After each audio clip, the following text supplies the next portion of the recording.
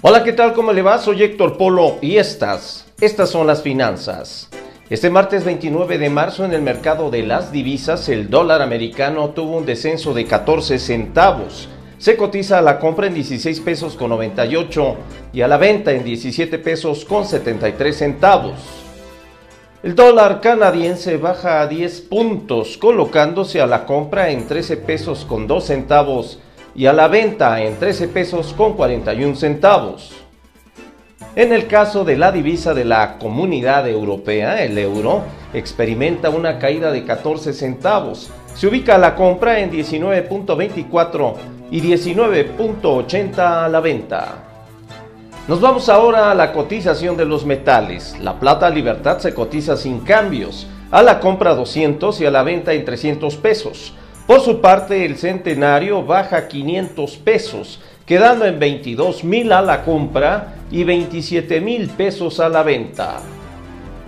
La mezcla mexicana de exportación en los mercados internacionales retrocede 0.62%, terminando la sesión con un precio de 30.61 dólares por cada barril de crudo, por debajo del precio de referencia de los 50 dólares.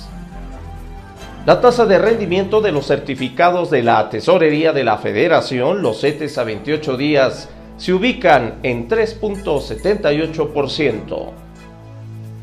Pasamos ahora al comportamiento de los mercados bursátiles. La Bolsa Mexicana de Valores cerró la jornada con una pérdida de 0.05%, una variación de 24.09% en donde el índice de precios y cotizaciones finalizó en 45.623.48 unidades.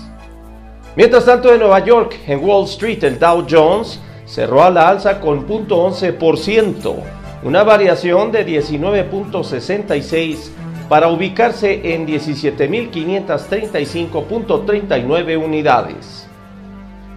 Por otro lado, Standard Poor's tuvo un incremento de 0.05%, una variación de 1.11, quedando en 2.037.05 unidades. Y por último, el índice tecnológico, el Nasdaq, pierde 0.14%, ubicándolo en 4.766.79 unidades.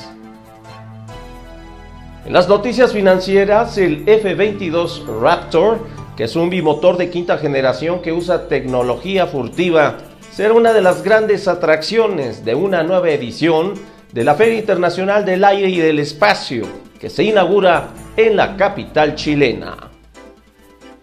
La Feria Internacional del Aire y del Espacio FIDAE 2016, que inicia este martes y que se extenderá hasta el domingo en Santiago de Chile, tiene al F-22 Raptor de la Lockheed Martin como una de sus principales atracciones.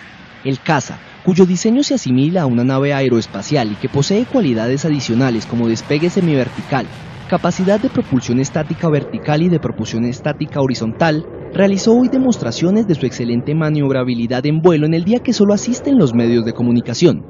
La presidenta Michelle Bachelet y el ministro de Defensa José Antonio Gómez, entre otras autoridades, serán los encargados de inaugurar la decimonovena edición de esta muestra aeronáutica y de defensa que es considerada la más importante de la región. En FIDAE 2016 estarán presentes más de 40 países y medio millar de expositores y se espera que sea visitada por unas 250 mil personas el próximo fin de semana.